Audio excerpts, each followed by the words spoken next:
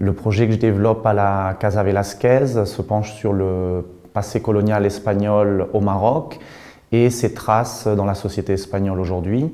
Alors à la fois des traces visibles, notamment les monuments, des œuvres d'art dans des musées, mais aussi la toponymie euh, des villes.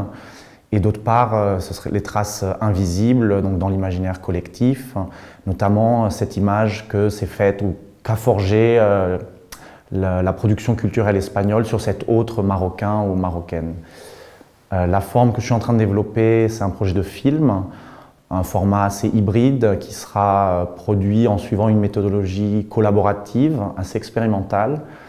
Euh, il sera filmé entre trois villes, donc c'est une triangulation entre Barcelone, Madrid et Tétouan. Ces dernières années, j'ai commencé à développer ce que j'appelle une méthodologie de recherche performative. Je fais collectif mes, mes préoccupations et j'intègre aussi dans le processus d'écriture ou de préparation d'autres perspectives, d'autres voix, d'autres regards sur ces problématiques. Par exemple, ce projet a été notamment jalonné par une résidence en milieu scolaire pendant un an, une table ronde, actuellement un groupe de lecture autour de l'œuvre de Juan Goytisolo. Et ce sont, oui, ce sont des, étapes euh, qui, à la fois, euh, me permettent de prendre de la distance, de me décentrer par rapport au, sujet, à ma recherche, et qui me permettent aussi de rencontrer des nouvelles personnes qui peut-être ensuite participeront au film ou à d'autres étapes. Et c'est, je pense, une certaine une façon aussi de créer une constellation de relations en fait autour d'un autour d'un sujet. Le film euh, sera développé en collaboration avec des acteurs, actrices, chercheurs, chercheuses et activistes marocaines et espagnoles.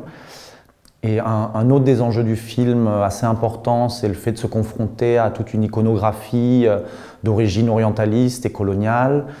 Et pour moi, il y a à la fois là une sorte de nécessité de se confronter avec cet héritage qui continue à alimenter euh, notamment le cinéma en Espagne, le type de rôle qu'on donne aux acteurs marocains et marocaines.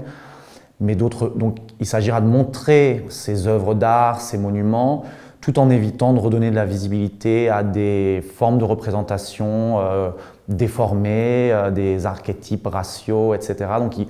il s'agira aussi de trouver des stratégies visuelles avec, euh, avec l'équipe technique, de réfléchir comment montrer sans montrer. D'une certaine façon aussi, l'enjeu du film, c'est de redistribuer un peu les, les, rôles dans la production d'un film, les positions, et puis évidemment le caractère inévitablement hiérarchique de production d'un film. Euh, et, finalement, le, film en lui-même sera aussi une sorte de processus de négociation sur quelles sont ces dynamiques aussi de pouvoir qui sont liées à la représentation. Et évidemment, ça met en jeu euh, le rôle qu'a eu la représentation euh, dans cette image que, l'Espagne s'est fait de son voisin marocain. Et donc, au-delà de toutes ces questions historiques et sociales, il y, a, aussi une réflexion sur les propres mécanismes du film, sur ma position par rapport à ce sujet.